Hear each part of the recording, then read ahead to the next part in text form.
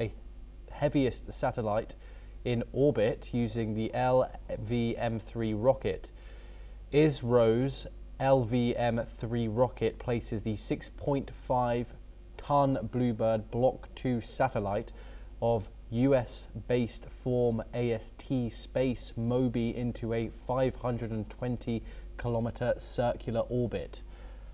The Prime Minister of Indi- India, Narendra Modi, has congratulated ISRO for the new milestone. He has said that it strengthens the foundation for future missions such as Gaganyaan, and the Prime Minister has also said that the success of the heavy lift LVM3 rocket also reinforces India's growing role in global commercial launch markets. PM Modi has said that the LVM3 launch was also reflective of efforts towards. Okay. And India and congratulated hard-working space scientists and engineers.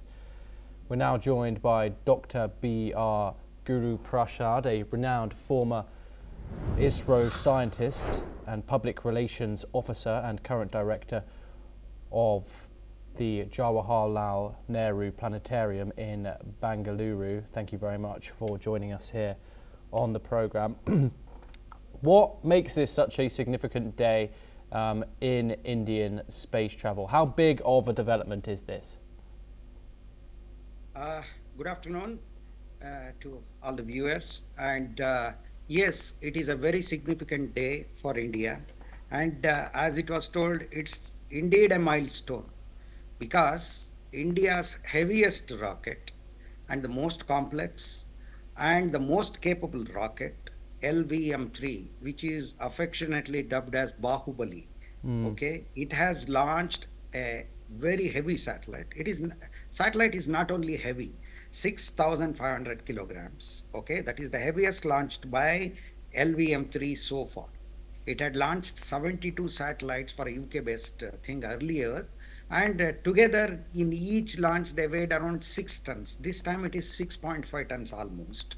So it is a very heavy satellite. At the same time, it is a very sophisticated satellite, in fact, because this satellite, uh, Bluebird Block 2 satellite, the first one in that series, it is going to bring um, cellular uh, broadband uh, uh, data, the facilities to the ordinary uh, mobile phones, that is smart mobile phones, in fact.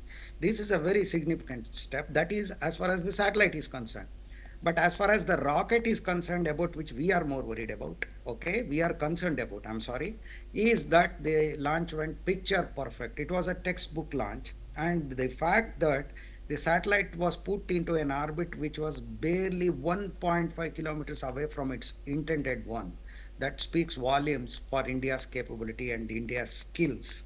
And you know, it was told that India has already launched 434 satellites for 34 countries, and many of them are from the United States. And another GSLV rocket a few months back that launched the uh, NISAR satellite, which was built jointly by NASA and ISRO. So, Indian launch vehicles have come a long way. And it is very pertinent to remember here on this special day that Indian uh, uh, space program was formally inaugurated, formally inaugurated on November 21st, 1963, with the launch of a small sounding rocket. Sounding rocket is nothing but a research rocket provided by NASA, and its scientific instrument was from France. But today, December 24th, 2025, from that time in 62 years, we have come a long way.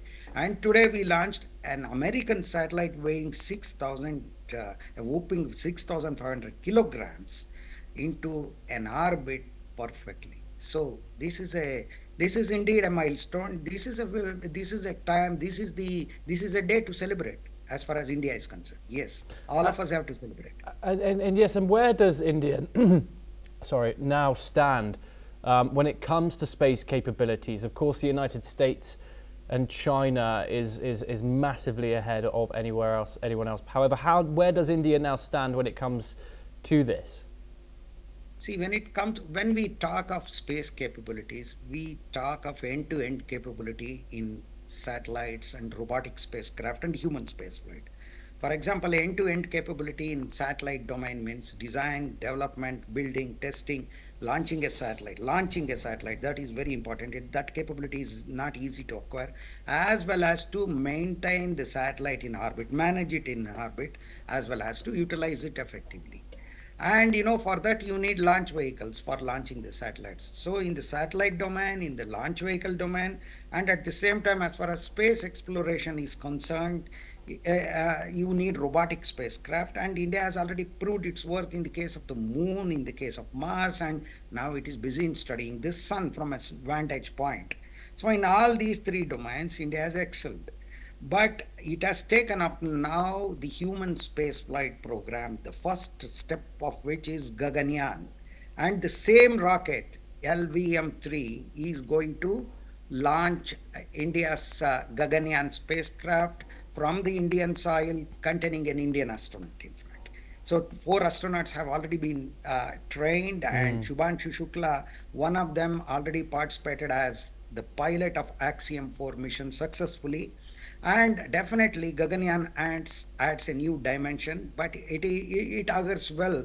Today's successful launch of LVM 3 brings more confidence to Indian scientists, but the rocket has it is being uh, uh, human rated. That is its reliability has been significantly enhanced.